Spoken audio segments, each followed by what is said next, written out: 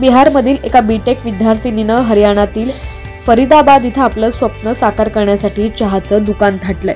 वर्तिका सिंग असे या विद्यार्थिनीचं नाव आहे. तिला स्वतःचा व्यवसाय सुरू करायचा होता. परंतु स्टार्टअप सुरू करण्यापूर्वी तिला आपली पदवी पूर्ण करण्यासाठी चार वर्ष वाट पाहायची नव्हती. म्हणून तिनं हळूहळू पुढे जाण्याचा निर्णय घेतला आणि बीटेक चहावली नावानं स्वतःचं चहाचं दुकान सुरू केलं.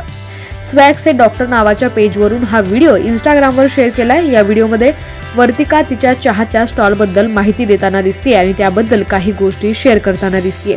या व्हिडिओमध्ये वर्तिका म्हणाली की तिनं फरीदाबादमधील ग्रीन फील्डजवळ चहाचं दुकान उघडलंय आणि सायंकाळी साडेपाच ते नऊ वाजेपर्यंत ती तिचा स्टॉल लावते.